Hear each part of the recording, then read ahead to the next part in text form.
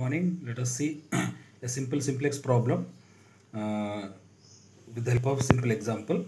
Let us see the problem that is given is maximize z is equal to 6x1 6x1 plus 4x2 subject to constraints x1 plus 2x2 less than or equal to 720 2x1 plus x2 less than or equal to 780 and x1 less than or equal to 320 so we have three constraints and two decision variables now in order to solve this problem by using simplex method we need to follow the step by step procedure the step one is converting linear programming problem into standard form. So how to convert the linear programming problem to standard form? Uh, we need to add the slack variables to the left hand side by removing the inequalities. So first constraint you can take x1 plus 2x2 you can add slack variable s1 which will be equal to 720 similarly second constraint is 2x1 plus x2 plus s2 is equal to 780 so that means we are going to add the slack variables to the left hand side to make the inequality into equality. Third constraint is x1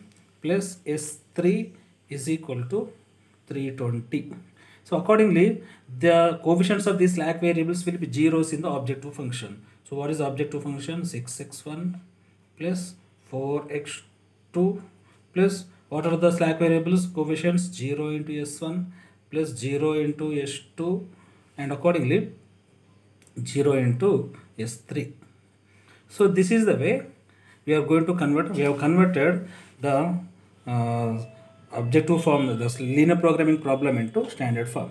The step 2 we are going to find out the initial feasible solution. So for initial feasible solution we need to make the of non non-basic variables as zeros. That means i told you in the previous session in, for initial feasible solution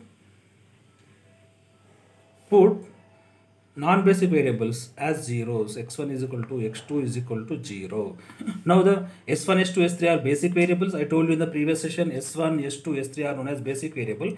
The x1 x2 are non-basic variables. And accordingly s1 will become 720 and s2 will become 780 and s3 will become 320 now now with these information we need to construct a the step 3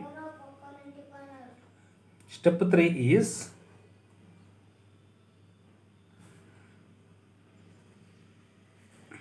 new simplex simplex table. We need to make a new simplex table. Simplex table is construct a simplex table so how to construct the simplex table?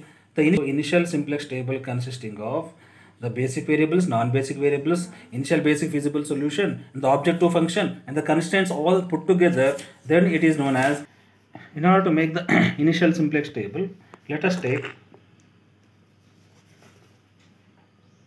I'm going to uh, explain how to make an initial simplex table.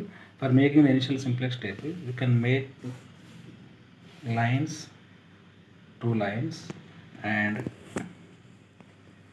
now this is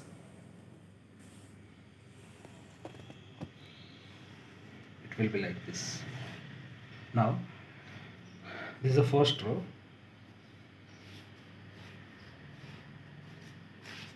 First row c0 c0 contains c uh, c0 contains the coefficients okay.